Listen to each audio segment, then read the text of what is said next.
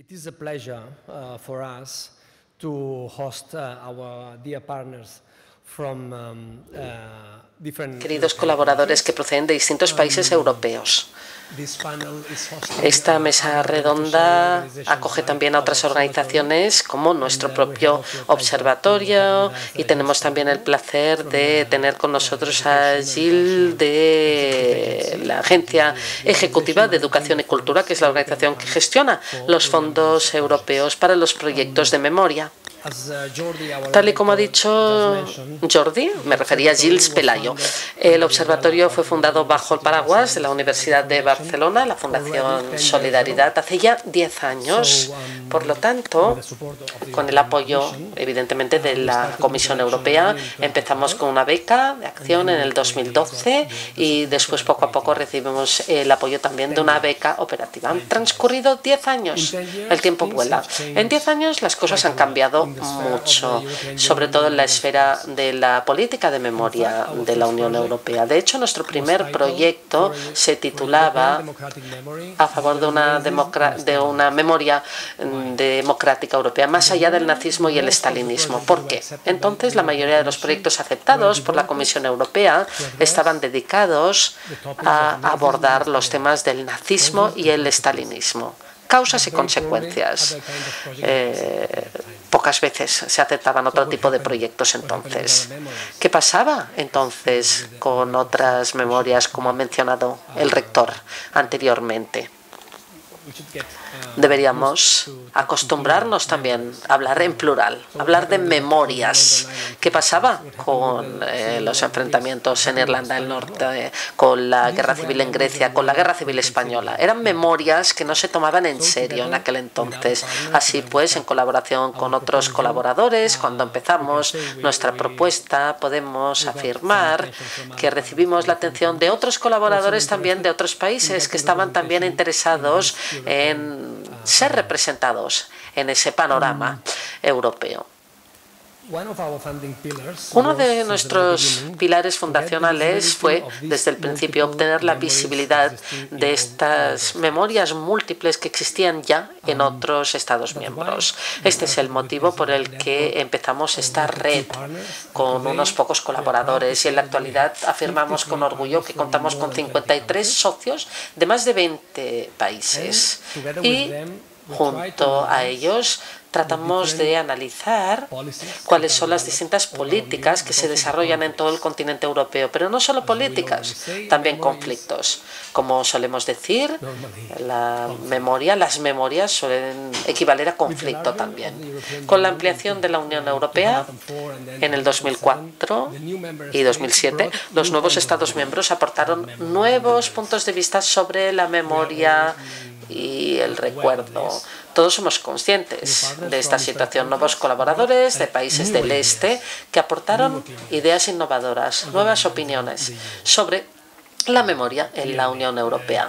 Está claro que el comunismo no significa lo mismo en Europa Central y Europa del Este, que ha sufrido una represión durísima, y los regímenes totalitarios. No significa lo mismo a otros países de Europa Occidental, donde la militancia comunista cobraba importancia para la lucha contra la ocupación del nazismo, las dictaduras fascistas. Por lo tanto, debemos tratar de equilibrar todas estas memorias, algo que no es fácil y deberíamos analizar con la ayuda de los miembros de nuestra red qué tipo de políticas de memoria se están desarrollando en Europa. Rápidamente ya, desde Europa, nosotros intentamos aportar a este análisis, hacer nuestra contribución y podemos decir hoy en día que el programa Ser Ciudadanos, Igualdad, Valores y Ciudadanos abraza toda esta sensibilidad. Nos sentimos cómodos ahora desarrollando algunas actividades y algunos programas que abordan, como hemos dicho anteriormente, las memorias relacionadas con temas de actualidad, pero con una mirada hacia el futuro, a través del conocimiento histórico. Y el racismo actual tiene sus raíces en el pasado, en la historia colonial, en la esclavitud, de la que Europa participó, se posicionó, estaba en una posición de poder en aquel momento. Y los derechos LGBTI deberían abordarse también a través de la memoria. La igualdad de género, el papel de la mujer en el pasado. Ahora hablamos constantemente de esto, pero hace 10, 15 años, 20 años no era el caso y no era una idea que se abordara. Estamos ahora ya cómodos con el nuevo programa, desarrollando todas estas ideas y promocionando nuevos proyectos y conectando cosas con el pasado. Además, es un placer colaborar con el público joven europeo. Normalmente decimos que es difícil encontrar a los jóvenes en nuestras actividades, que son únicamente los expertos, los veteranos, las asociaciones interesadas en estos y gente como nosotros los que vamos, pero no suele haber muchos jóvenes. Así que también es un tema que queremos solucionar junto con nuestros compañeros, que también nos podrán hablar de diferentes programas con jóvenes en diferentes países europeos. Bueno, pues esta es la breve presentación de nuestro observatorio dentro del marco del programa CERV, Ciudadanos, Igualdad, Derechos y Valores. Y ahora le paso el micrófono a Gilles Pelayo, que nos va a hablar de este nuevo eh, programa y lo que significa. Gilles, cuando quieras. Gracias, Oriol. Eh, gracias de verdad a Eurom por organizar este evento. Es un gran placer estar hoy aquí para este décimo aniversario y la quinta edición de Taking Stock, hacer balance. Y por fin estamos en presencial en la maravillosa Barcelona.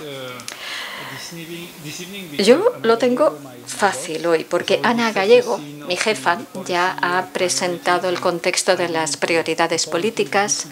Y entonces creo que lo importante es dejar tiempo para los proyectos, para las cosas a las que damos apoyo, porque nosotros en los servicios de la Comisión Europea no hacemos nada, simplemente tenemos el privilegio de apoyar proyectos maravillosos como el de memoria europea. Simplemente mm, ante tantos historiadores de prestigio, voy a arriesgarme a recordar un poco lo que hemos hecho a nivel europeo, dando apoyo a estos programas sobre políticas eh, de memoria recuerdo y de historia. De hecho, eh, la memoria, el recuerdo, las políticas de memoria han formado parte de la agenda política de la Unión Europea desde hace más de 15 años ya. Y esto es relativamente reciente cuando vemos mm, programas de la Unión Europea. Hay algunos que datan de hace mucho más. Pero bueno, tuvimos que adentrarnos en las actividades de la Unión Europea hasta que surgió la necesidad de hacer esto. Y España ha trabajado mucho el concepto de memoria democrática.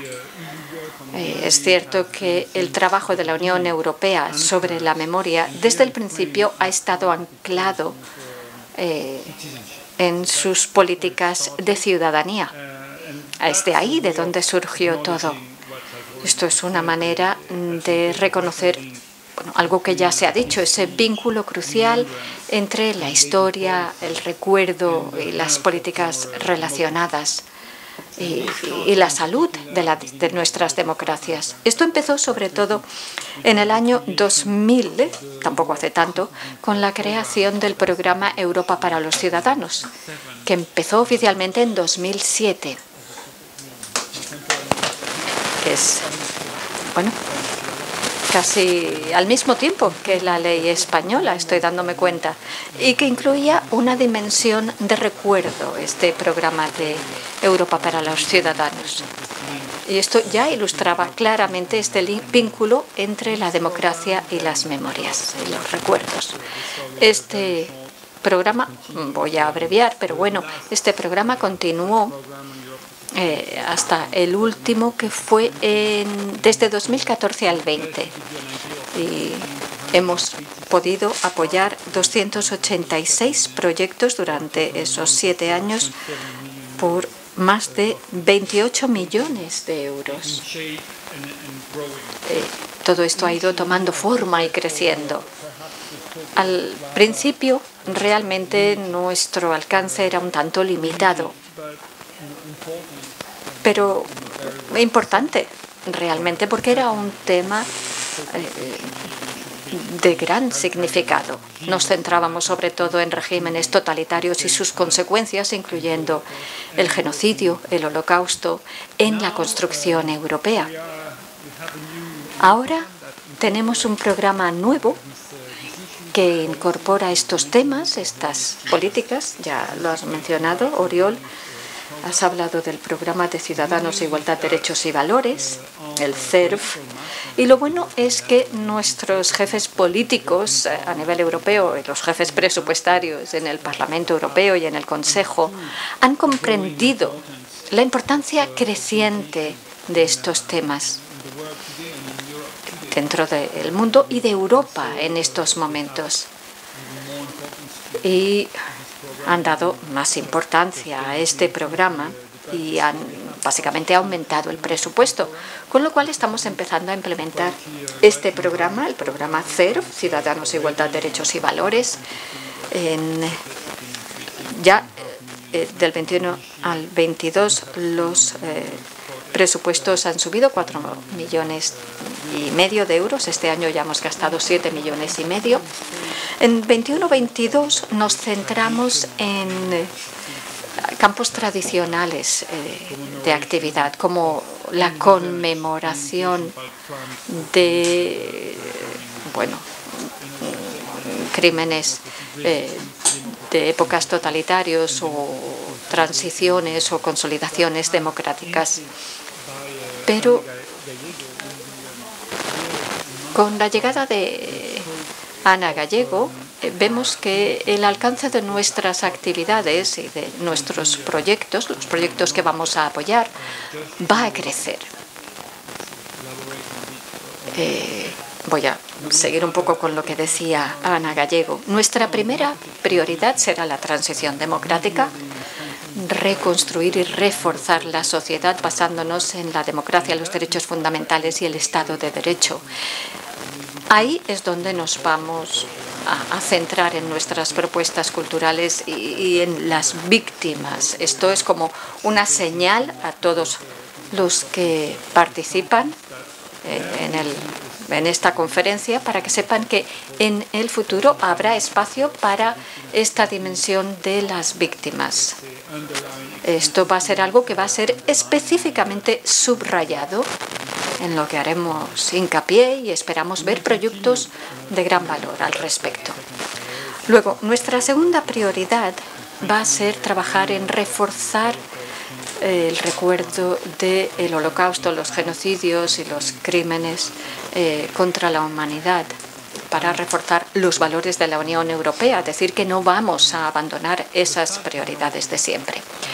Nuestra tercera prioridad va a ser, como decía Ana Gallego, la migración, la descolonización y las eh, sociedades europeas multiculturales. Esto es algo novedoso en nuestros programas.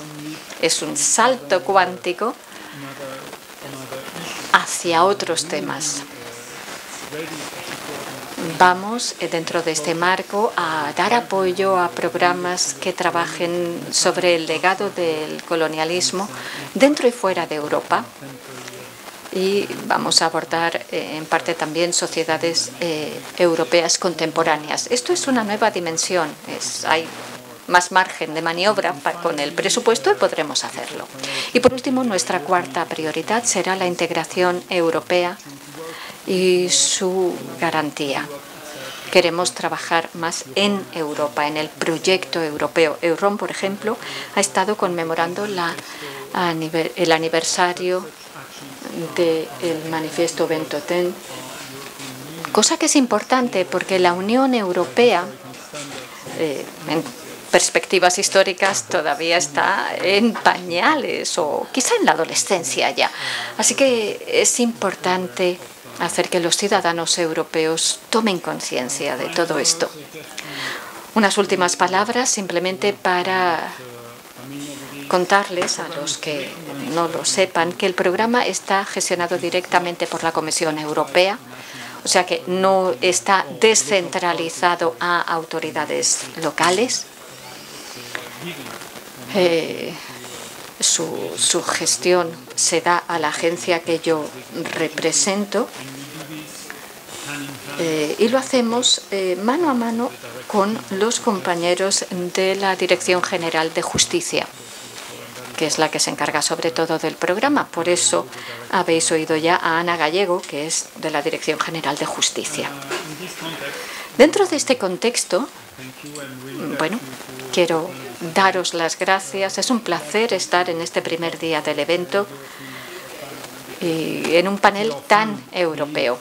Estamos convencidos de que los enfoques transnacionales en temas de memoria, de recuerdo, son muy fructíferos en entornos tanto nacionales como internacionales. Eh, tenemos muchas ganas de seguir debatiendo sobre este tema tan importante de las víctimas y legislación relacionadas con estos campos. Gracias.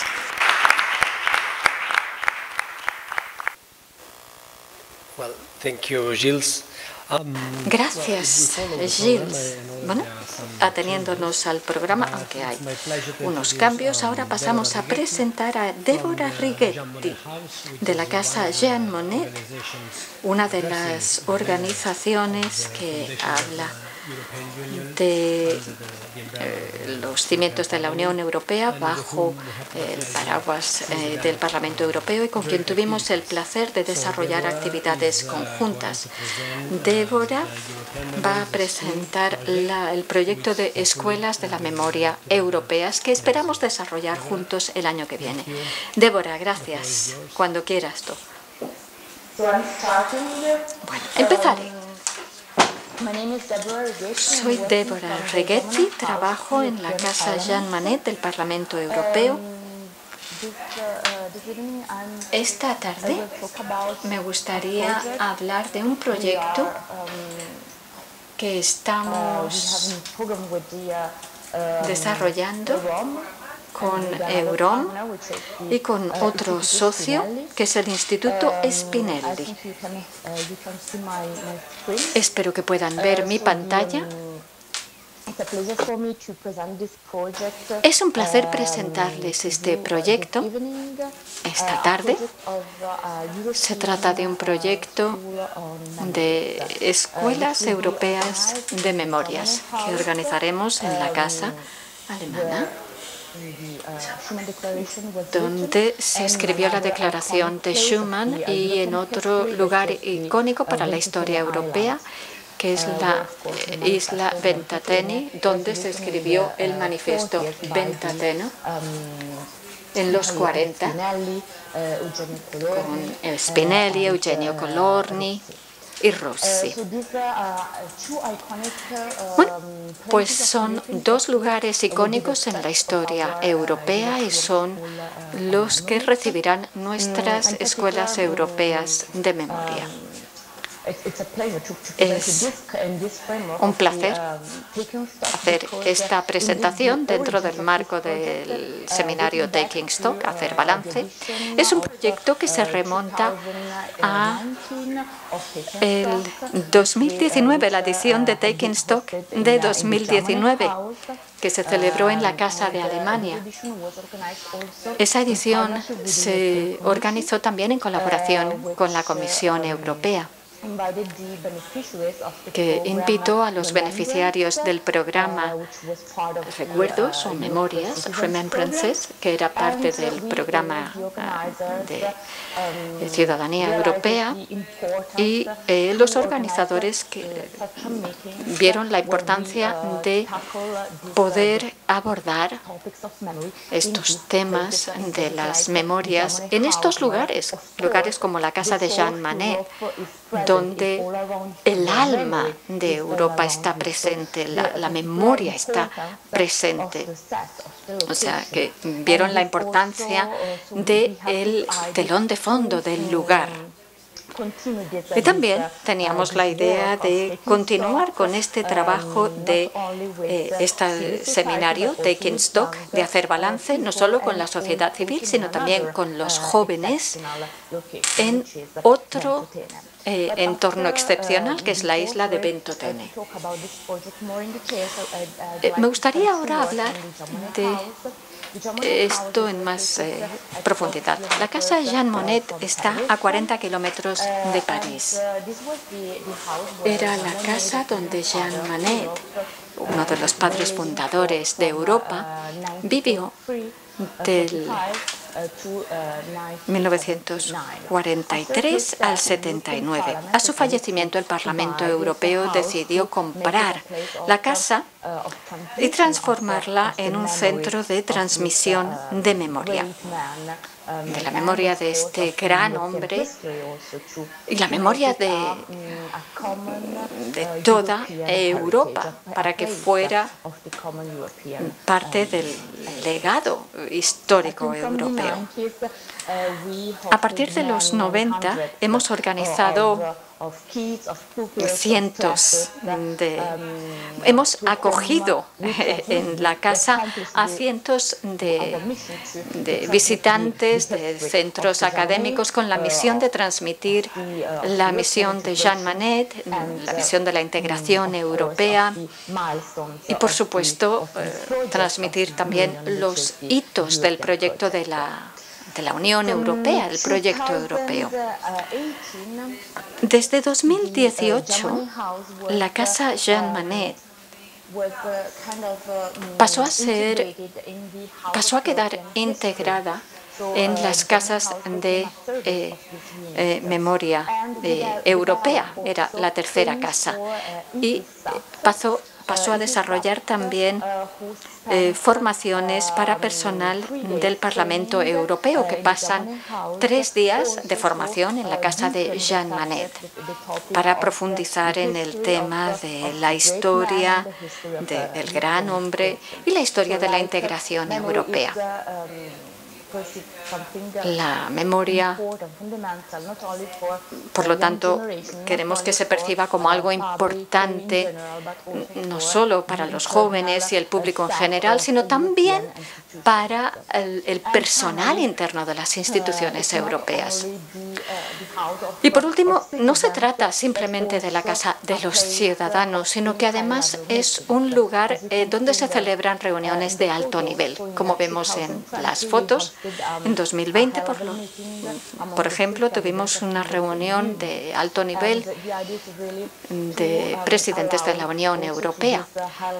La idea es que estas reuniones de alto nivel eh, se beneficien de la inspiración que emana de las paredes de estos sitios. Eh, el alma de Europa está ahí, tanto para nuestros visitantes como para el público en general, como para estos ilustres visitantes. Está este aura, este alma allí.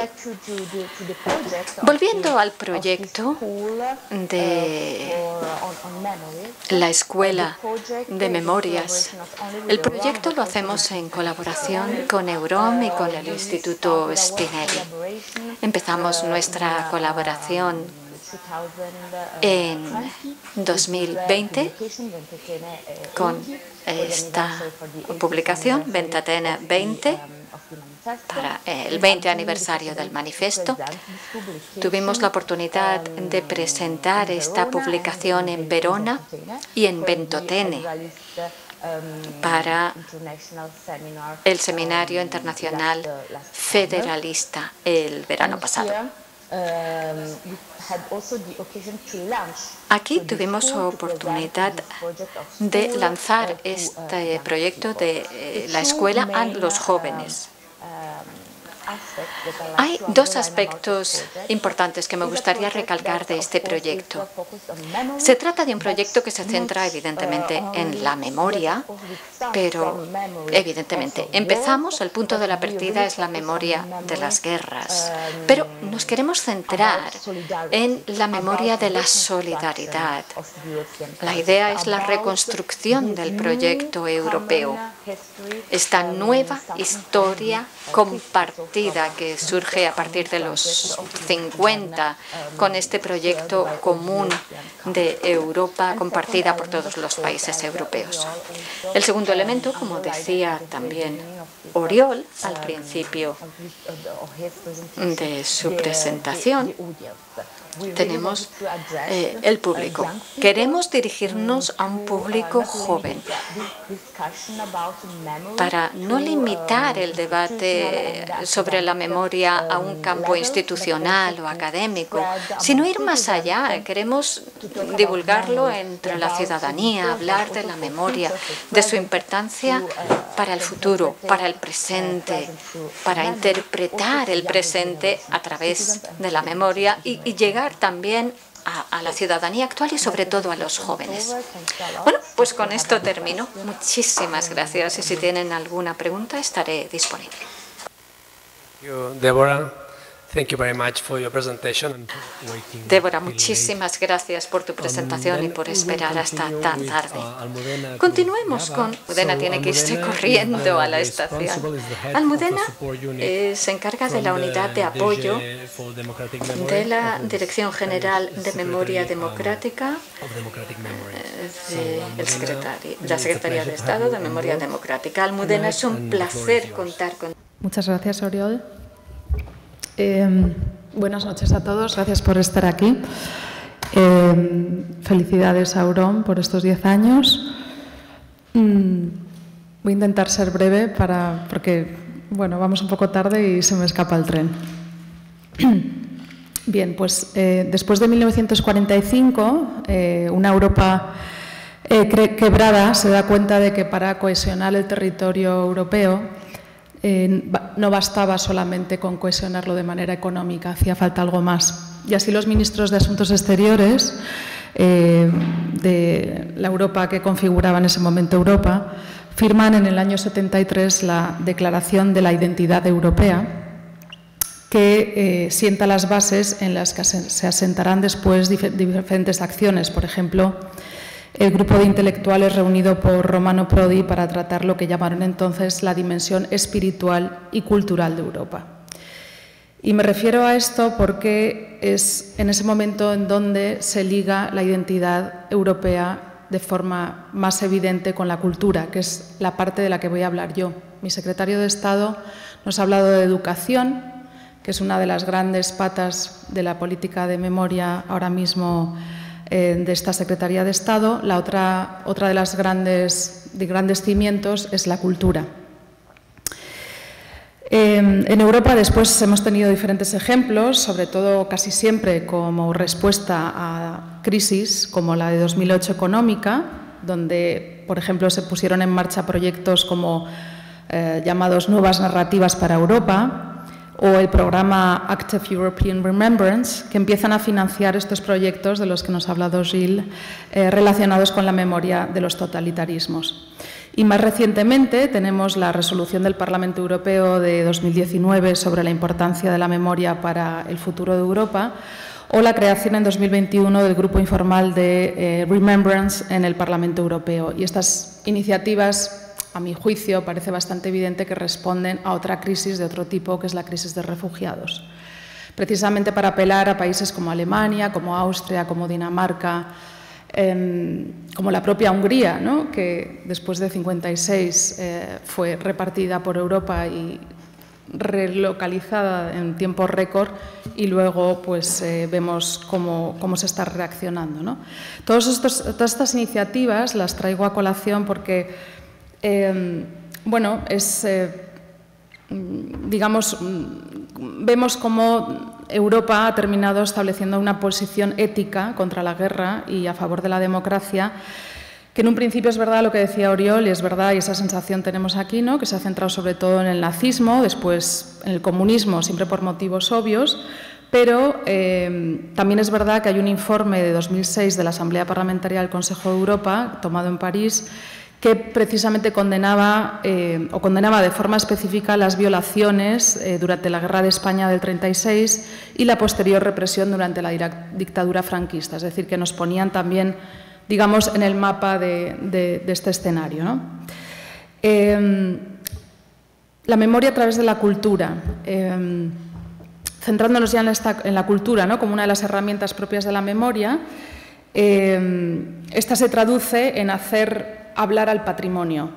Es curioso como en español y en francés tenemos que añadir el histórico para el, calificativo de histórico, ¿no? para ligarlo a la herencia de nuestros padres o de nuestros antepasados, mientras que, por ejemplo, los anglosajones ya lo tienen con el heritage o los alemanes con Erbe. ¿no? Es algo que recibes y que ya lo tienen en el concepto. Pues bien, em, como decía, para que el objeto rememore o evoque esa memoria, hay que infligirles una acción, porque si no, por sí solos no hablan, ¿no? son como piedras cómo gestionamos ese patrimonio, cómo lo conservamos, cómo lo investigamos, eh, cómo los metemos a veces en una lista eh, de especial importancia, cómo lo musealizamos, eh, lo abrimos al turismo a través de señalización o lo hacemos visitable, es como ese patrimonio va a validar ciertas líneas ideológicas o incluso reorganizar, llega hasta reorganizar territorios enteros. O sea, que, que es un elemento, digamos, de gran fuerza que cuya gestión, la gestión de este patrimonio, va a multiplicar su presencia y va a hacer que ya no hablemos de un pasado, sino de el pasado, que puede ser el pasado que decidamos desde este presente y a lo mejor el día de mañana es otro pasado, ¿no? pero en cualquier caso es el pasado que decidamos. La nueva ley de memoria democrática, eh, bueno, He hecho referencia a este, a este, informe del Consejo de Europa de 2006, donde se condenaba la violación de los derechos humanos durante la Guerra del 36 y la durísima represión de la posguerra y la dictadura franquista, durante la cual, como eh, el mismo Consejo dice, se produjeron de manera sistemática desapariciones forzosas, ejecuciones extrajudiciales, detenciones arbitrarias, políticas de campos de concentración, trabajos forzados, torturas, etcétera, etcétera. ¿no? Y en el preámbulo de esta nueva ley se hace referencia a dos objetivos que son fundamentales. Por un lado, fomentar el conocimiento de las etapas democráticas, y ahora veremos cómo se traduce esto en las políticas de memoria de la Secretaría de Estado y del Ministerio de la Presidencia, y promover y mantener la memoria de las víctimas de la guerra y la dictadura. Es necesario, prosigue el preámbulo, que la ciudadanía sea consciente de su propia historia para detectar y desactivar las derivas totalitarias y antidemocráticas que puedan crear en su seno, que es muy importante y por eso la, cuestión de la educación lo, es todo. Uno de los pilares es, por tanto, conocer cómo hemos llegado a esta democracia en nuestro país a través del sacrificio de muchas mujeres y hombres eh, que han contribuido a ello y, en este sentido, eh, la ley hace un especial reconocimiento a cuatro constituciones, la de 1812 y la de 1869 y creo que es uno de los eh, grandes logros de la ley hacer hincapié en el siglo XIX, mm, porque parece que, todo nace a partir del 45 y no es cierto. Em, precisamente ahora los lugares de memoria eh, pretenden recoger estos, estos lugares que ya se empiezan a gestar en el siglo XIX Hemos dedicado un congreso internacional en el Senado al trienio liberal, con una gran publicación y ahora va a haber una gran exposición en la Real Academia de Bellas Artes de San Fernando, en Madrid, también relacionada con el trienio liberal. Em, la otra constitución que, recoge expresamente, obviamente, es la del año 31. Aquí también bueno, hemos tenido grandes conmemoraciones de la propia constitución, pero también de, figuras vinculadas de alguna manera. Bien, Azaña como presidenta de la República, Clara Campoamor em, como la, gran valedora del voto femenino en nuestro país. Eh, a la que bueno, pues, eh, hemos dedicado una exposición, hemos publicado sus, sus, eh, sus em, bueno, pues, alegatos en el, en, el, en el Congreso. Em, y la, la, otra constitución que nos queda es la de 78, que cumple 45 años el año que viene y también vamos a hacer con la Secretaría de Estado de Relaciones con las Cortes una gran exposición más bien artística, pero vinculada con todos los, eh, derechos conquistados con ella. Y ya en la dimensión, digamos, eh, más europea, eh, también celebramos todas los logros que se han producido en Europa y vamos a hacer una exposición el año que viene sobre las grandes mujeres que han contribuido a, a configurar la Europa que conocemos hoy. ¿no? En esta, etapa anterior al 78, por supuesto, no nos olvidamos eh, de los exiliados, que ya el secretario de Estado ha hecho, a los que ha hecho mención. Em, tuvimos una gran exposición en 2019, hemos dedicado una en Málaga a la desbandá, que precisamente alguien me comentaba ahora mismo que era eh, bueno, pues un capítulo parecido a Guernica, pero un poco anterior. Em, en, esa embrincación con Europa también vamos a hacer ahora, em, se inaugura en pocas semanas una exposición en Casa Sefarat sobre el encuentro en Mauthausen de eh, los judíos con los republicanos ahí exiliados, o sea que tenemos, digamos, varias eh, conexiones y luego en el nivel archivístico y también en otros niveles trabajamos muchísimo con Francia y estamos también eh, empezando con Portugal. Luego, a nivel em, ya de grandes proyectos, eh, tenemos, eh, por supuesto, el Centro Documental de la Memoria Histórica, que nació en 2007 por parte del Ministerio de Cultura, pero propiciado por la Ley de Memoria Histórica, em, que recoge pues, todo lo relacionado con grandes personalidades, con grupos em, de exilio, con, bueno, sobre todo aquí lo importante es ¿no? el acceso libre, gratuito, universal, incluido aquellos documentos que eh, fueron clasificados secretos antes de 1968. Tenemos esta nueva ley, además crea el eh, Centro eh, de Memoria Democrática para fomentar la memoria, los valores democráticos y los derechos humanos. Y luego, bueno, tenemos otras, otros proyectos que ahora por, por, tiempo tampoco vienen al caso, ¿no? Pero sí que es importante em, eh, hacer hincapié en que estamos tocando muchos aspectos de la cultura. Con el Instituto Cervantes tenemos muchísimas exposiciones, colaboraciones, publicaciones. Por ejemplo, ahora hay una exposición de Ramón J. Sender. Con el cine también lo estamos apoyando. Y quiero terminar, como también ha terminado el secretario de Estado, con el concepto de lugares de memoria, que ahora mismo la nueva ley de memoria democrática eh, bueno, pues, eh, propicia su inventario y su eh, y su bueno, pues fomento en difusión eh, y también el que se meta en el circuito internacional. Y en este, en este aspecto me gustaría incidir porque en el Consejo de Europa tenemos diferentes ejemplos de redes muy interesantes, como por ejemplo puede ser Atrium, con esa arquitectura de los regímenes totalitarios, donde está Italia, donde está Croacia, donde está Bulgaria, donde está Rumanía, pero creo que se podría extender de alguna manera esa red. Tenemos la ruta de la liberación de Europa, tenemos la delta de Onda Cero, pero parece como que el sur termina ahí siempre un poco deslavazado. ¿no? Y mm, me gusta también mucho la palabra alemana eh, de monumento o memoria, que es Denkmal, que es piensa. Y yo creo que esto, esto también es importante. Estos lugares tienen que hacer pensar Em, precisamente hay una gran polémica porque dentro de, los, de, los, de, estas listas que hablaba antes, que son importantes para dar visibilidad, eh, en Patrimonio de la Humanidad hay solamente dos, dos em, sitios eh, dedicados a este patrimonio que a veces lo definen hasta como feo, ¿no? que son Auschwitz por un lado y el atolón de Bikini por otro. ¿no? Son dos sitios eh, muy duros y sin embargo son, se, han, reconocido como patrimonio de la humanidad, reconociendo que la humanidad tiene esa parte bonita, si se quiere, como bueno, pueden ser las pirámides de Egipto, aunque no te cuentan cómo fueron construidas, ¿no? porque eso como que interesa menos. Pero luego tiene también estas partes y precisamente hay una gran polémica porque estos sitios, eh, expresamente por eh, ICOM, que hace esta lista de patrimonio mundial, no tiene claros cuáles son los indicadores que tiene que medir para conceder eh, esta categoría tan importante que es tan, eh, bueno, pues da tanta visibilidad a, los sitios y ha pedido un informe y este informe de ICOMOS lo que viene a decir es que, esto no es patrimonio de la humanidad. ¿no? Yo creo que aquí hay que cambiar eh, la concepción. Esto sí es patrimonio de la humanidad, esto sí es importante. Los lugares de memoria tienen una digamos, un, papel fundamental en la educación y, creo que entre todos, a través de todas estas redes de las que vamos a oír ahora, a través de redes internacionales europeas, tenemos que contribuir a que que la cultura sea, sea parte de la educación y la memoria, pues, parte de la cultura. Muchas gracias.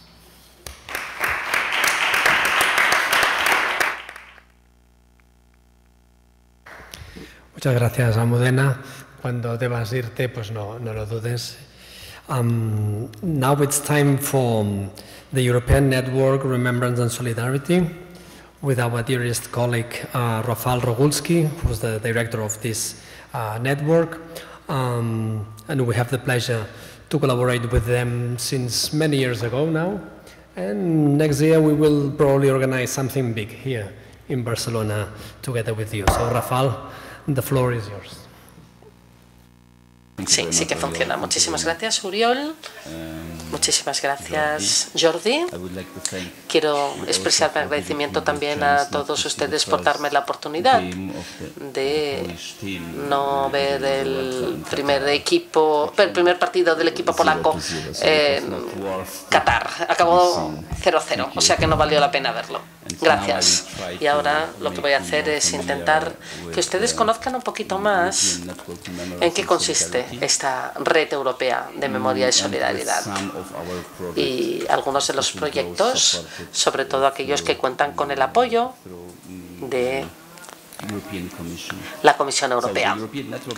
La Red Europea de Memoria y Solidaridad es una entidad internacional que promueve el diálogo acerca de la historia de Europa del siglo XX y los miembros de la red son una serie de países, y en concreto Polonia, Alemania, Hungría, Rumanía y Eslovaquia. Estos cinco países son aquellos países que financian el funcionamiento de muchas de las actividades que llevamos a cabo. Las actividades principales que lleva a cabo la red, pero contamos también en la asamblea de asesores lo que se conoce como observadores, países que cuentan con el estatus de observador dentro de la red y son Austria, la República Checa, Letonia, Albania y Georgia. Y nuestro objetivo principal consiste en ser un lugar de intercambio entre la sociedad civil, el gobierno y las actividades de investigación activas durante el siglo XX y su conmemoración. A mí lo que me gustaría es destacar también que eh, dentro de la iniciativa europea combina eh, entidades públicas y organizaciones no gubernamentales. Y nosotros organizamos también desde el año 2010 casi 200 proyectos que hemos implementado en 27 países distintos, la mayoría de ellos países europeos.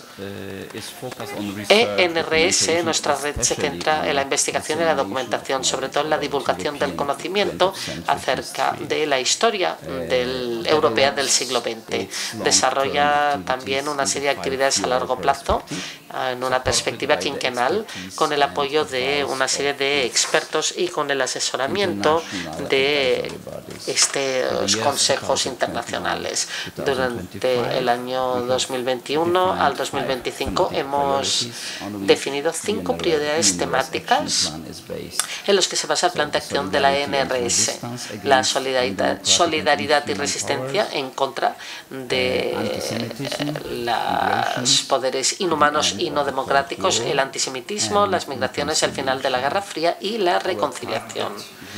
Nuestros grupos, Diana, los grupos a los que nos dirigimos son ustedes, los representantes de distintas instituciones y de organizaciones dedicadas al estudio de la historia del siglo XX y después educadores, redes, académicos, personas que se, se, dedican a proyectos de investigación, jóvenes, políticos y líderes de opinión.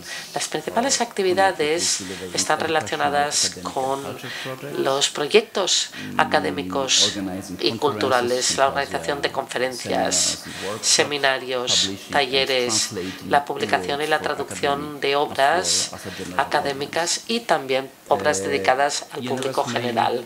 La NRS, los principales colaboradores son instituciones que están ubicadas por toda Europa y también eh, algunos países europeos. Contamos con casi 500, 500 acuerdos de colaboración de, repartidos entre casi 40 países y esas instituciones son instituciones, centros dedicados a la investigación, académicos, institutos de memoria nacional, think tanks, archivos, museos, memoriales, centros culturales, centros educativos, pero también colaboramos con administraciones gubernamentales y con misiones diplomáticas, consulados e institutos culturales. La NRS cuenta con una experiencia muy larga en la aplicación de distintas iniciativas financiadas por la Unión Europea y no financiadas. Europa para los ciudadanos, el International Big Plan y también otras becas nacionales e internacionales. En la actualidad participamos también y colaboramos en el proyecto del consorcio Horizonte Europa. Pero la iniciativa que se ha solapado más con la misión y los objetivos de nuestra organización este año hasta el año 2027 y probablemente más allá es sin duda el programa CERF. Y en el año 2025 aplicamos, solicitamos perdón, dos tipos de becas. Una beca operativa para el año 2022 como parte de ese acuerdo de partenariado de cuatro años, acuerdo marco, y una beca de acción dentro del campo de la memoria europea para nuestro proyecto Sonido en el Silencio, Sound in the Silence. Los objetivos de la CERF, que incluye la promoción de los ciudadanos, el compromiso y también la participación, en la vida democrática dentro de la Unión Europea y los intercambios entre los ciudadanos de distintos Estados miembros y aumentar la concienciación respecto a la historia común europea, algo que se refleja en la manera en que llevamos a cabo todos nuestros proyectos. Por otro lado, colaboramos también con otras organizaciones con un perfil similar al nuestro que funcionan a escala internacional, como el EUROM, por ejemplo, o la Casa de la Historia Europea, o una plataforma de memoria y conciencia europea, y también con todos aquellos centros en el 2021, por ejemplo, organizamos un debate de memoria en acción dentro del marco de la conferencia celebrada acerca del futuro de Europa. Si me permiten, me gustaría decir algo más para que conozcan ustedes un poquito más algunos de nuestros proyectos. El primero es el simposio sobre memoria europea, European Remembrance Symposium, que es nuestro comité de intercambio anual. es un ejemplo de proyecto que ilustra la especificidad de las actividades que llevamos a cabo y también eh, lo en línea que estamos con los objetivos y los principios de CERF. Reúne a distintas organizaciones que tienen un perfil similar que funciona a la escala nacional e internacional, dando espacio al intercambio de ideas y de experiencias también y evidentemente proporcionando la oportunidad de futuras colaboraciones entre ellos. Este año, por ejemplo, era el aniversario, la décima edición que, edición perdón, que se celebró en el Trinity College de Dublín con el objetivo de debatir el significado y el papel de la reconciliación en el contexto tanto de la historia interna histórica europea y de los conflictos internacionales. Contamos con 35 ponentes, mesas redondas, debates, también presentación de estudios de caso y otras presentaciones, o sea que llamamos presentaciones turbo, que damos un minuto y medio a cada ponente para presentar su propio proyecto a veces su, la institución a la que representan. También tenemos tiempo para realizar visitas culturales, sobre todo en lugares dedicados a la memoria, que son característicos del lugar en el que estamos. Y, como seguramente imaginarán, la siguiente ubicación en la que se celebrará el simposio será Barcelona en el 2023 y por lo tanto nos estamos preparando ahora mismo ¿no? para el simposio del año que viene. Así que, pues por favor, eh, están ustedes invitados a regresar a Barcelona. Entre el 10 y el 12 de mayo eh, es un poco la fecha prevista, bueno, es lo que deseamos. Pero bueno, les informaremos con suficiente tiempo cuando tengamos la fecha exacta. Pero el tema principal que trataremos será la solidaridad. Nosotros celebramos también campañas de información. Las más importantes son estas dos. El Día Internacional del Holocausto, el 27 de enero, y recuerdo, 23 de agosto, el Día Europeo del Recuerdo para las Víctimas de los Regímenes Totalitarios. Y la financiación del CERF nos ha permitido ampliar el alcance de estas campañas. Por ejemplo, hemos podido preparar más películas sobre las víctimas de los distintos regímenes totalitarios que nosotros hemos presentado y sobre todo también en distintas televisiones y a través de distintos centros sobre estas fechas. Y me gustaría presentarles también durante 30 segundos una peliculita para que se hagan una idea de cómo funciona y de cómo lo hacemos. Trata de Doida Cornia, una activista de derechos humanos rumana.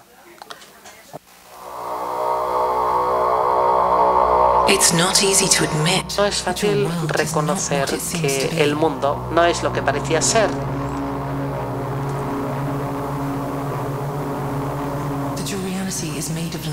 Pero la realidad está hecha a partir de mentiras. Es un choque que la mayoría de personas evitan. Como seres humanos preferimos una mentira cómoda a una verdad difícil. Pero una vez nos damos cuenta de la verdad, ya no hay manera de volver atrás. He mirado la foto de Ceausescu rodeado de personas. Parecía que estaba bien, como un hombre libre, pero los otros, sentados con las manos cruzadas, son aquellos que se ocultan agarrando el bolígrafo, otras las libretas. Tenían caras sin expresión. Y entonces tuve una revelación. Cómo nuestro destino puede cambiar. Y me asusté. De verdad que me asusté.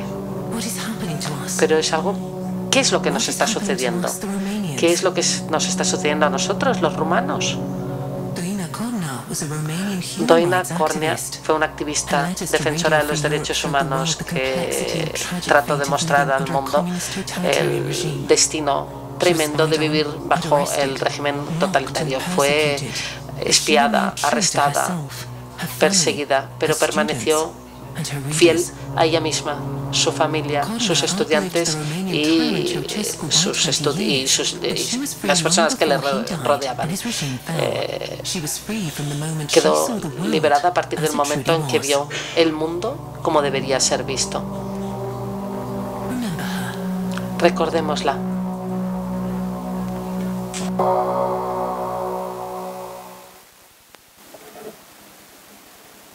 Micrófono, por favor.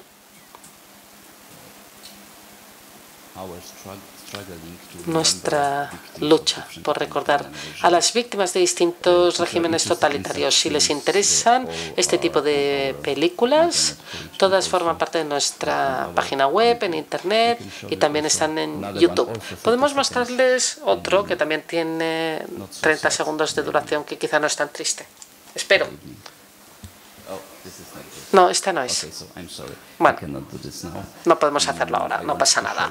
Eh, quería mostrarles la historia de Jan Cross, que es un escritor de Estonia, muy potente.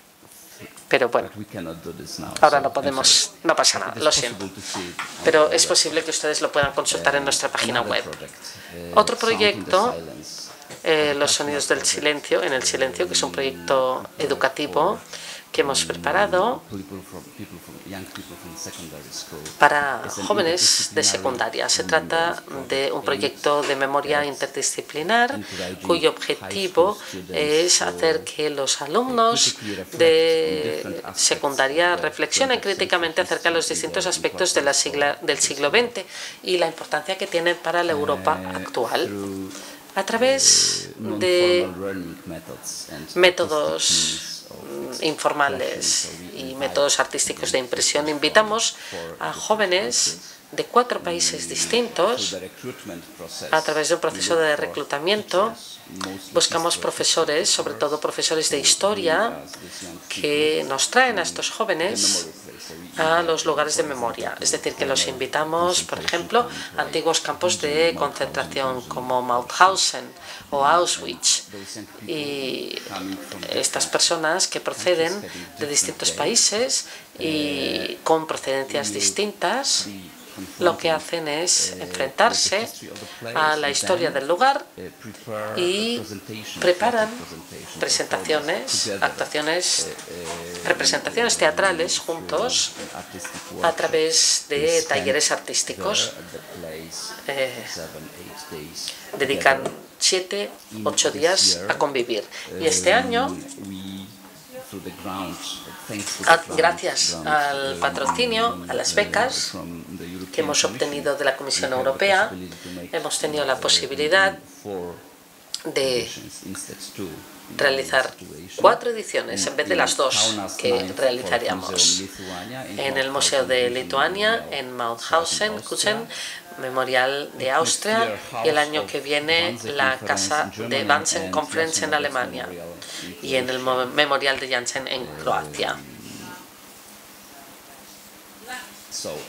Por lo tanto, quisiera acabar mi presentación con un minutito me queda, de acuerdo. Un minuto. Esto me lo puedo saltar, ¿eh? porque son oportunidades y desafíos para el proyecto CERF. Lo podemos debatir en otro momento. Muy bien. Perdón, porque me estoy alargando un poco. Primera oportunidad. Nos da el proyecto CERF. Es la expansión y la organización del proyecto. Si es importante para ustedes como comisión llegar a otros centros, tener mayor visibilidad, me parece que podría considerarse algo de un nivel de complejidad bastante elevado, ¿no? Eh, las becas operativas, cuáles son los límites, cuáles son los requisitos, el tiempo que requiere desde el punto de vista de las consultas legales y contables. Es útil y factible, como nosotros lo hacemos, pero puede ser bastante problemático para instituciones más pequeñas. Por lo tanto, mayor posibilidad si lo hacemos nosotros. Por ejemplo, el segundo punto serían los beneficios de cooperación con otros beneficiarios. Evidentemente se trata de un punto crucial, no solamente del programa CERF, sino también de todos nuestros centros. Pero tengo la sensación de que no hay suficientes oportunidades para estos talleres, para la celebración de estos talleres para los beneficiarios y la Comisión Europea para que puedan intercambiar experiencias y mejores prácticas en proyectos que ya están funcionando. Pero también nuevas ideas y nuevos partenariados. Hay un potencial significativo de sinergias tanto como progresión de un programa hacia otro, sino también a partir del refuerzo mutuo, ya que todos trabajamos en el mismo ámbito temático. Punto número tres, abordar desde la Unión Europea la invasión rusa de Ucrania a varios niveles, incluyendo la los documentos de programación de CERN, un papel crucial considerando lo oportunas que son las cuestiones del recuerdo y de la historia hoy en día, lo importante que es para poder entender la complejidad de la situación actual, situación política actual y también las implicaciones que tiene para nuestra identidad nacional y europea. Por otro lado, nuestra experiencia con los distintos colaboradores que proceden de países no europeos como Georgia, Albania o incluso Serbia demuestran su importancia y su presencia fuerte en el diálogo internacional en la historia del siglo XX de memoria. Y quizá valdría la pena considerar también aumentar los criterios de elegibilidad de las distintas actividades para los ciudadanos que no pertenecen a la Unión Europea, fuera de la Unión Europea, y crear un vínculo con los objetivos del programa. Sin que eso suponga infringir ninguna de las leyes de las becas, además de las restricciones geográficas que limitan las actividades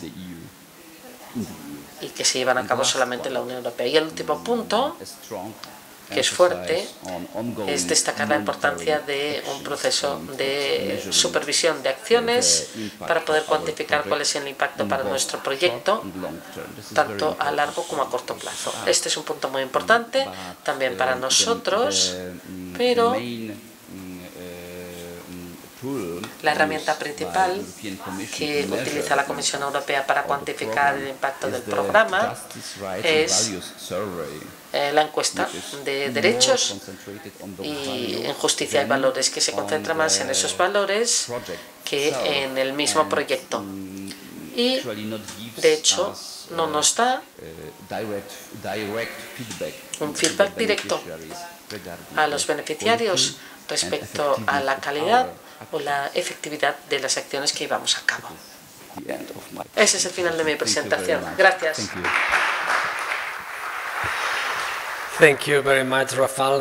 Muchas gracias, Rafael. Gracias por la presentación de su actividad y también por aportar al debate temas mm, tan importantes para organizaciones beneficiarias.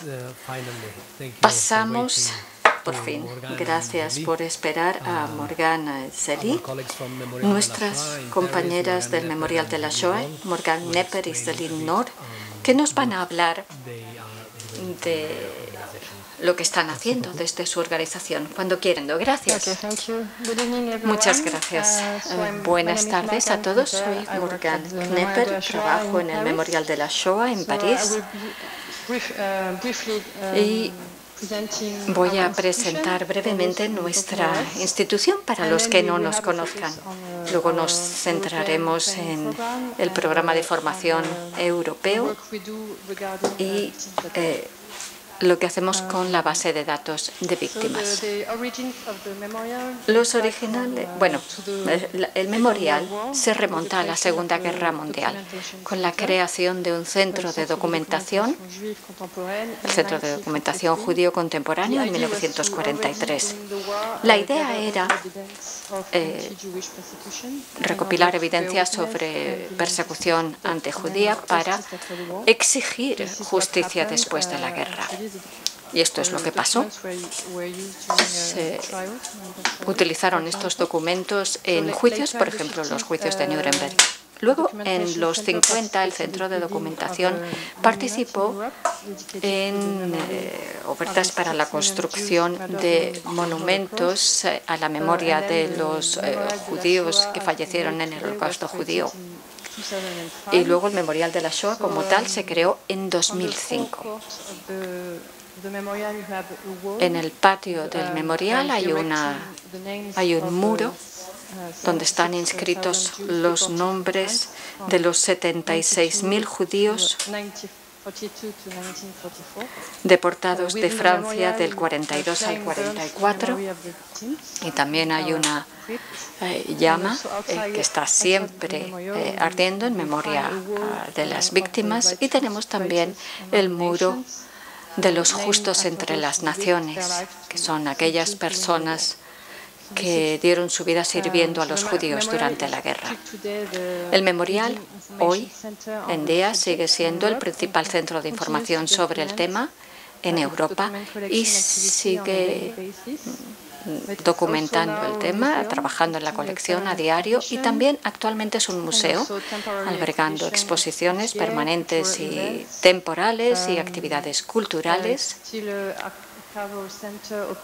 y es también un centro académico abierto para investigadores y es un lugar de recuerdo donde se organizan eh, eventos de conmemoración todo el año. La idea es que sea un centro para el recuerdo, para la memoria, centrado en actividades educativas para todas las edades y sensibilidades. Mm, recibimos a alumnos de muchas escuelas todo el año, tenemos visitas guiadas, talleres y, viajes de trabajo.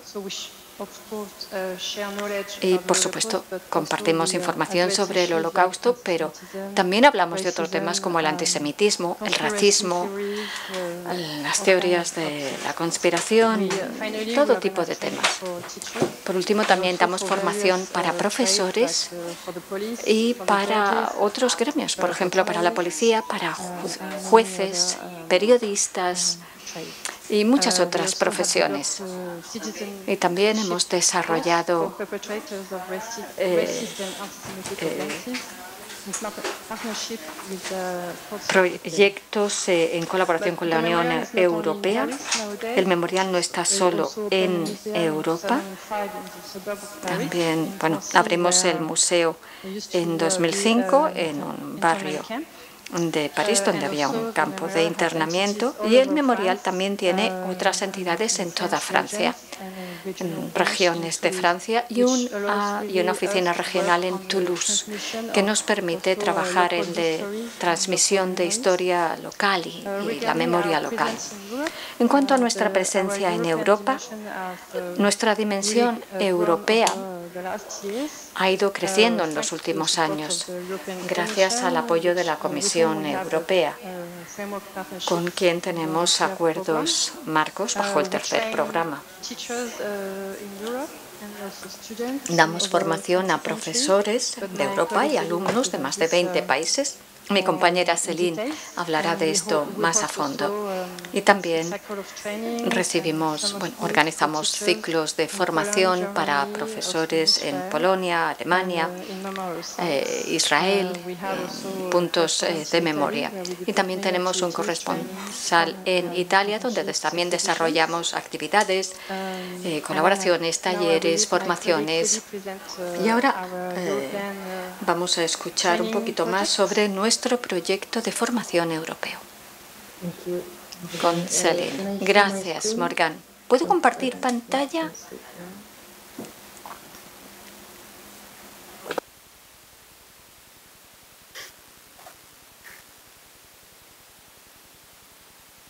Well, I hope it's working. Espero que vean mi pantalla. Hola a todos. Gracias por brindarnos la oportunidad de presentar nuestras actividades.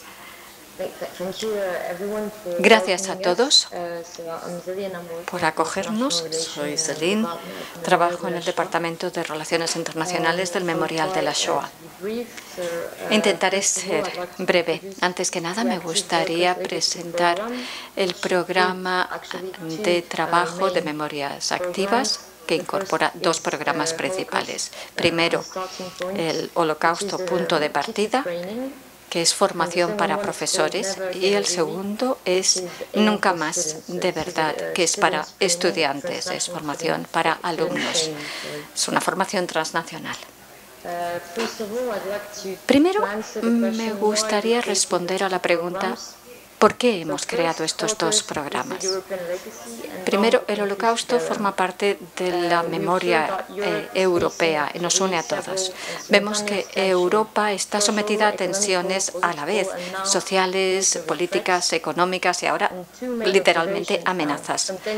Y también vemos que hay tensiones que se parecen más a las de la Segunda Guerra Mundial, cuando Putin dice cosas como que está luchando contra contra los neonazis, hablando de gente de Ucrania, y también la falsificación de la historia es una nueva herramienta para cuestionar las democracias.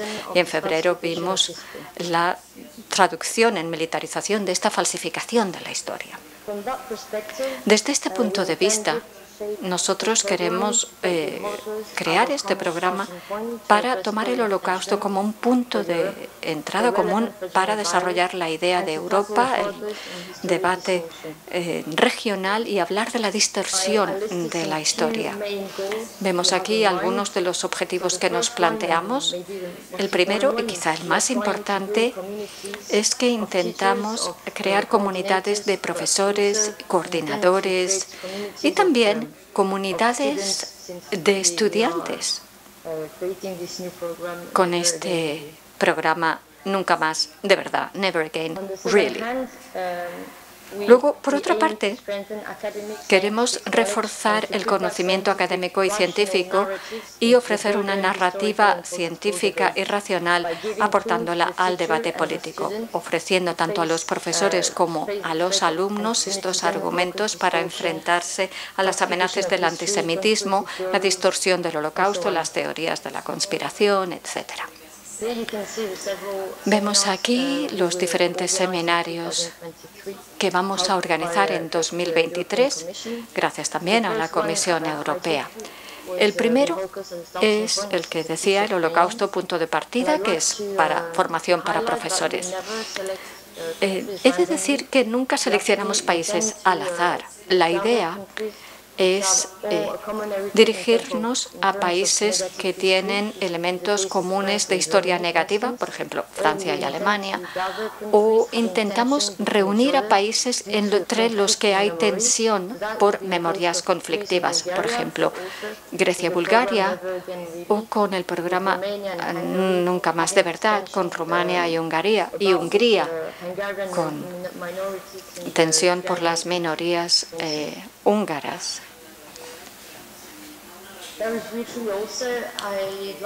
Ahora me gustaría brevemente mostrarles cómo eh, concebimos el programa. Para los profesores, eh, nos dirigimos a 50 profesores de dos o tres países con un programa donde hay un equilibrio entre eh, presentaciones históricas y talleres pedagógicos.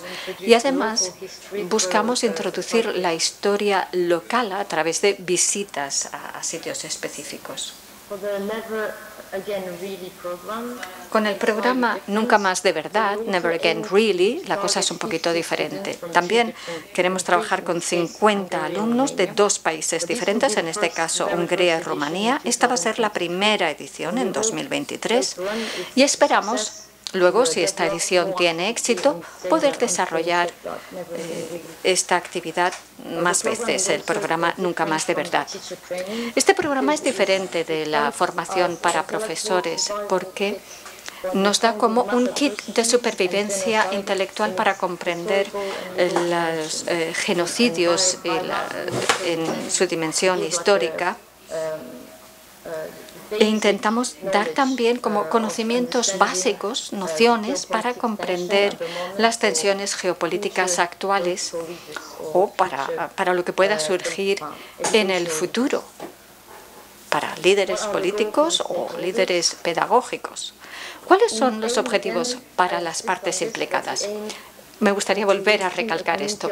La idea es crear una comunidad de profesores y alumnos dentro de Europa. Queremos facilitar buenas prácticas, nuevos proyectos transnacionales y reforzar conocimiento científico para evitar la distorsión de la historia y la propagación de las eh, teorías de la conspiración. Queremos reforzar valores europeos y reforzar valores básicos democráticos.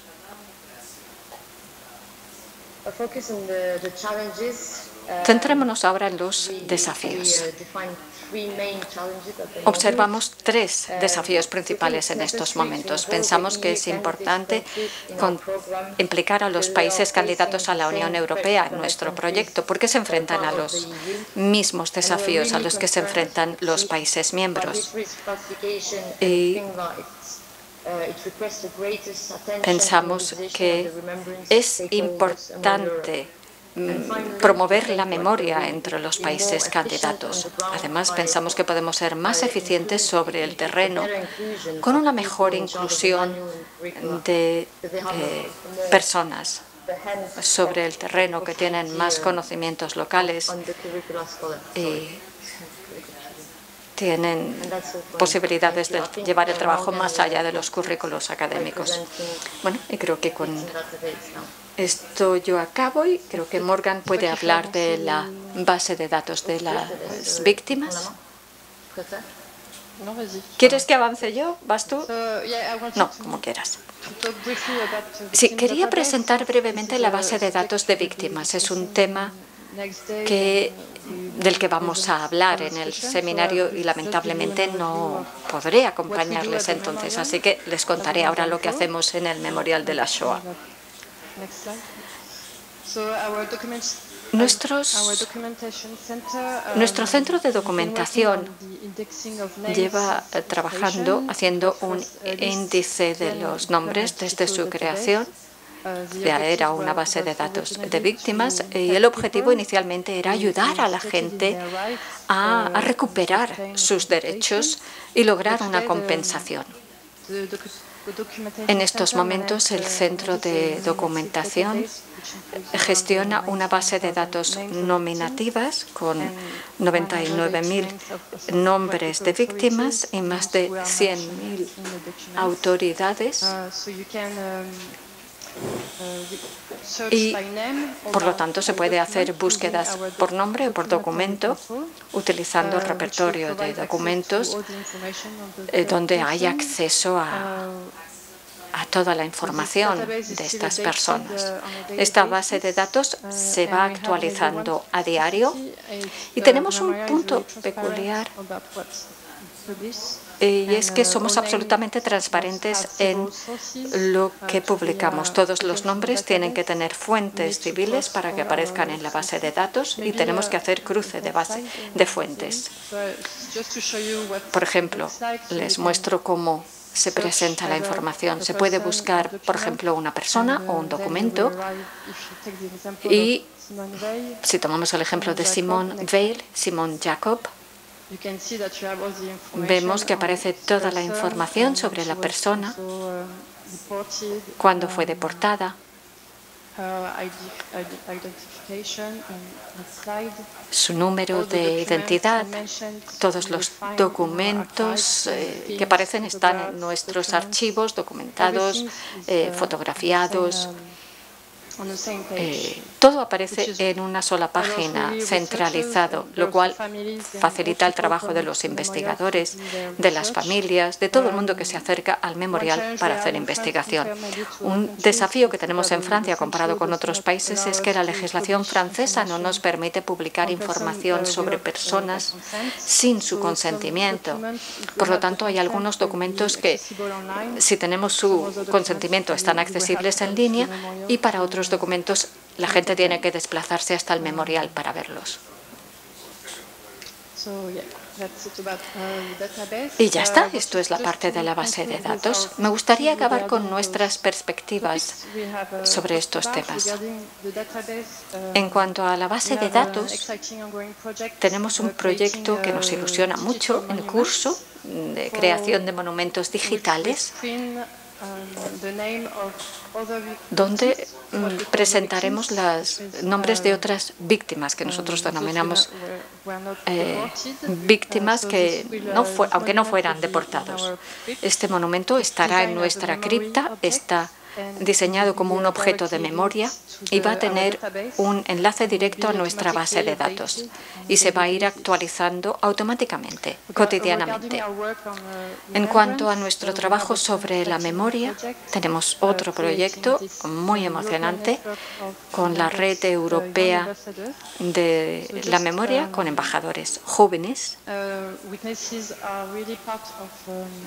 donde los testigos eh, forman parte de nuestro trabajo en el memorial. Tenemos todavía acceso a, a testigos, a supervivientes.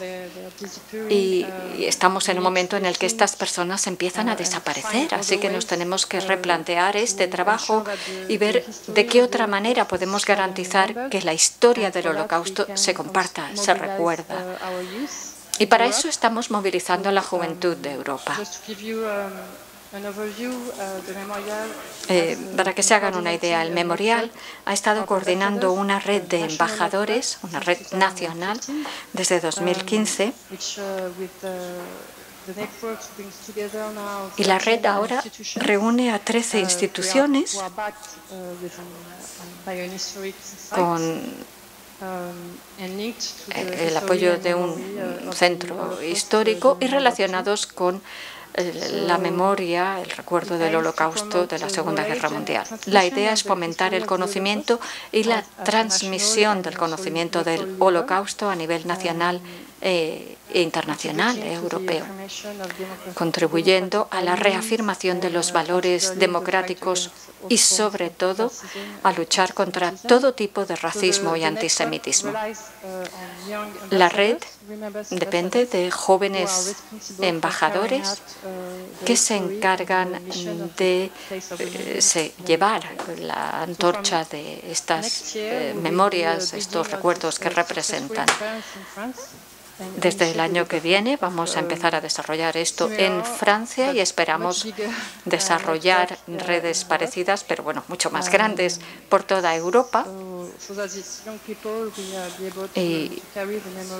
Para que los jóvenes puedan seguir transmitiendo esta memoria y la memoria de los lugares a los que ellos tienen vínculos y lo transformen en un lugar de reflexión y de transmisión también. Y ya está. Muchas gracias.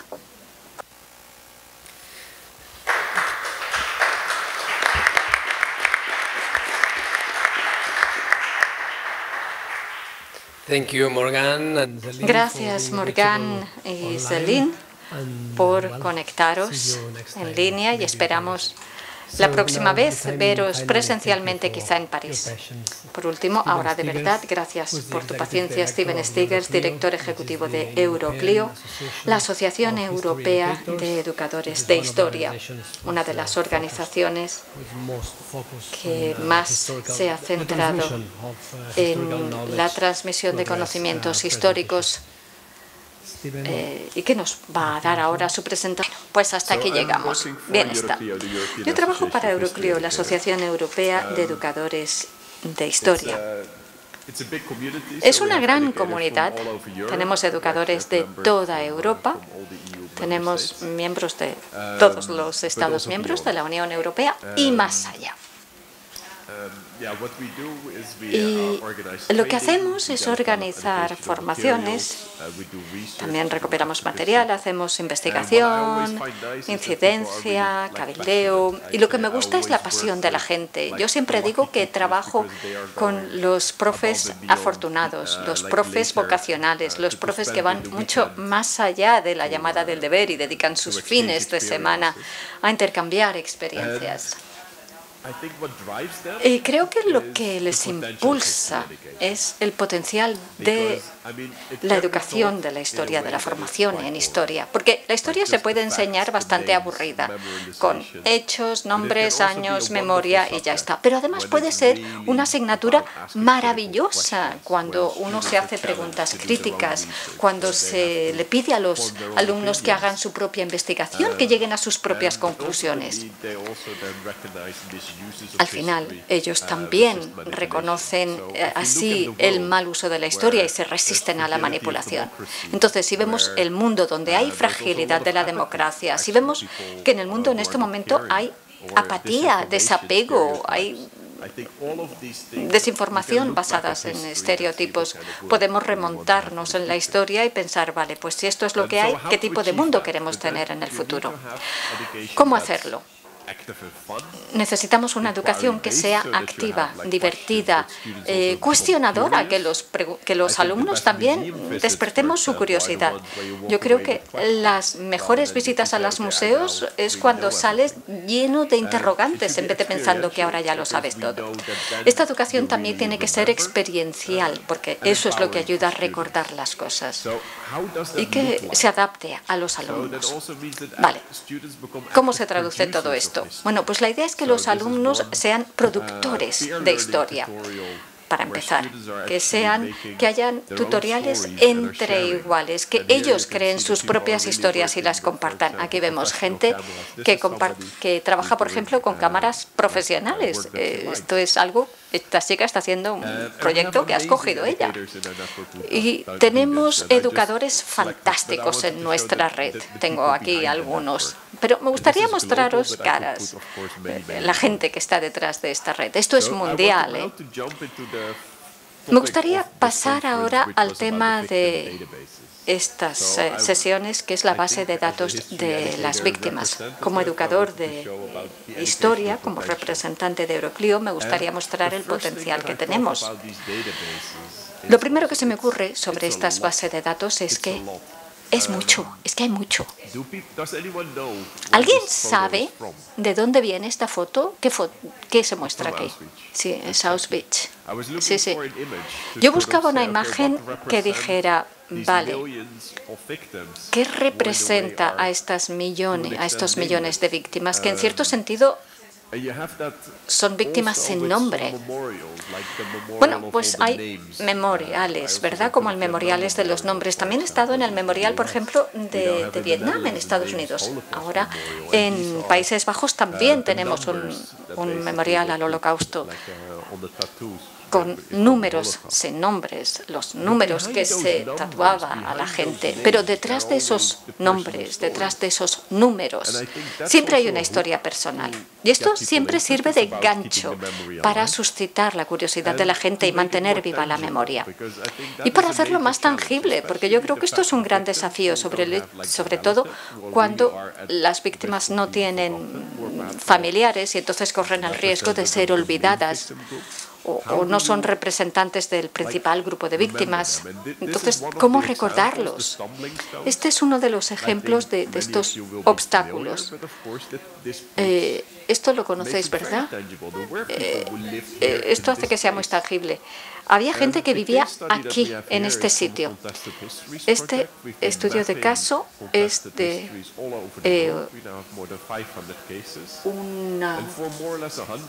un caso en particular. Ya hemos identificado eh, historias de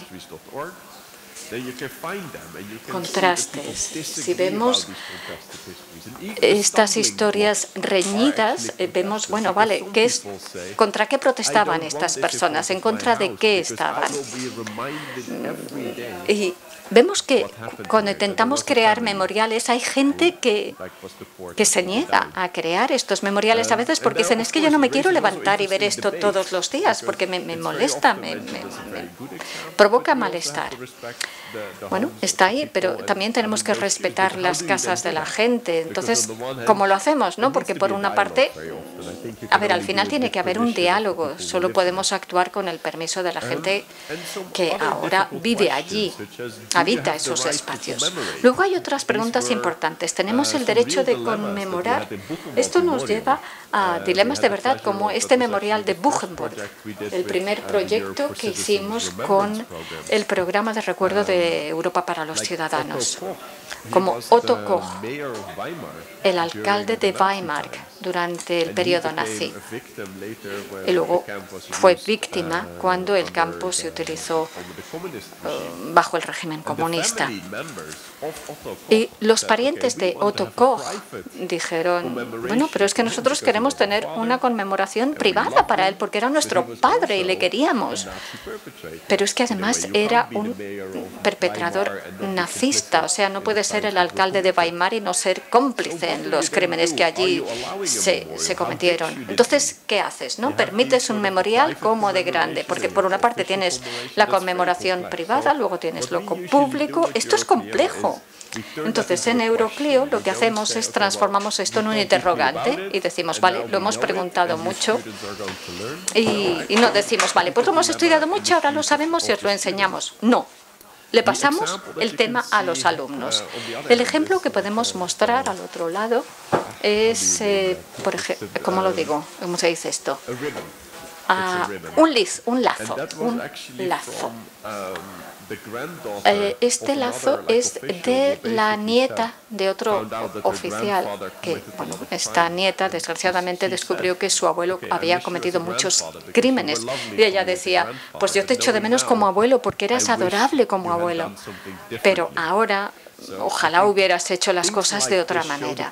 Entonces, las cosas así muestran la complejidad, muestran el elemento humano. Yo creo que son herramientas muy, muy poderosas para al final permitir a los alumnos plantearse estos temas tan complejos.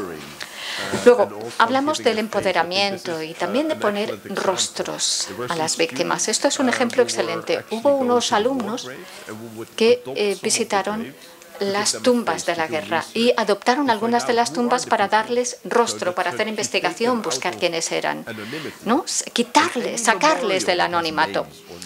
Todo memorial que tenga nombre o números o base de datos eh, se puede replicar esto. En este caso, ellos presentaron los resultados de su investigación, se publicó en el periódico local, o sea que veis que lo que se hace está conectado con el mundo real, suscita interés real, se puede publicar. Yo creo que es una historia muy empoderadora. Otro ejemplo fue un taller que yo hice hace 10 años en el Museo Pauli con el Centro Falstaff y el Museo Judío. Y lo que hicieron fue eh, remontarse, buscar en la historia de una persona, y combinando imágenes y archivos de todo tipo de cosas. Y esto se puede hacer siempre. Si tienes un nombre, eh, un archivo normalmente va a estar organizado, eh, pero suelen estar cruzados. Hay historias transnacionales fantásticas, porque la gente se mueve. Entonces vas de un sitio a otro, de un archivo a otro. Al final ellos pudieron recopilar todas uh, estas imágenes, esta investigación y lo presentaron en un blog.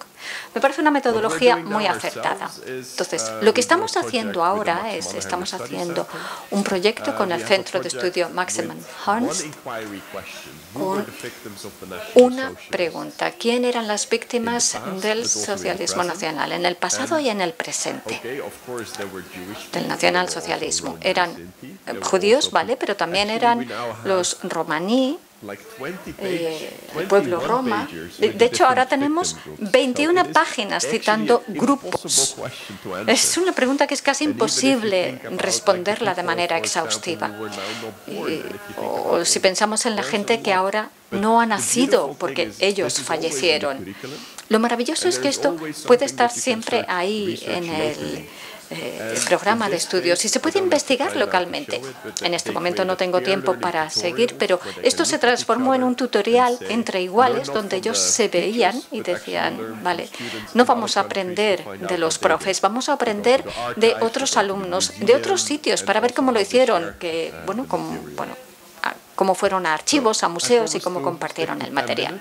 Bueno, he prometido respetar mis diez minutos, así que voy a dejarlo aquí.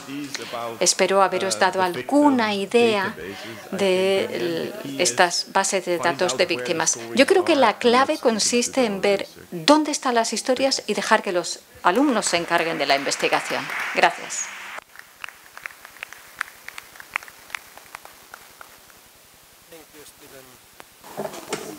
Micrófono, por favor. Ahora, sí. Gracias, Steven. Muchísimas gracias por arrojar tanta luz con tu presentación.